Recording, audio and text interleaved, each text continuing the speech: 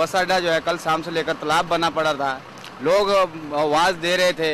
नारे लगा रहे थे।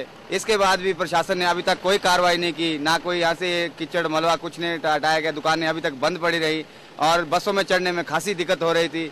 लोग इमें धक्के मुक्के खाते हुए बेचारे साइडों साइडों से निकल रहे थे। अभी भी यहाँ पर कीचड़ भरा पड़ा है और प्रशासन सो रहा है। ये मुख्यमंत्री का गृह क्षेत्र है। हॉस्पिटल के भी बहुत बुरे हाल है और ये बस स्टैंड के बहुत बुरे हाल है। एनएच के बहुत बुरे हाल है। जितना भी ऊपर एनएच का पानी है, सारा बस स्टैंड में तालाब बना पड़ रहा है और जगह जगह इस तरीके की स्थिति बहुत ही खस्ता हो रही है।